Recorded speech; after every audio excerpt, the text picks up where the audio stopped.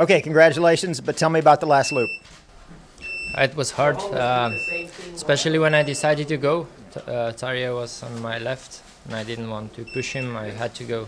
It's a bit double poling, and then I got in in the middle, and then I could start my attack. So were you worried about Andre right behind you? A little bit.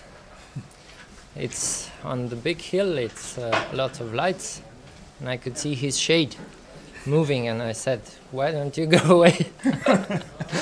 Ah, he was fast, but I was faster. Wow, your second world championship.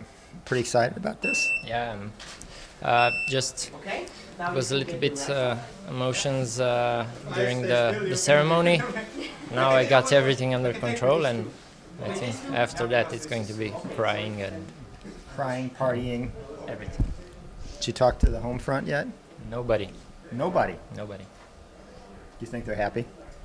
I think they're crying. So is this another medal for the dog? Uh, no.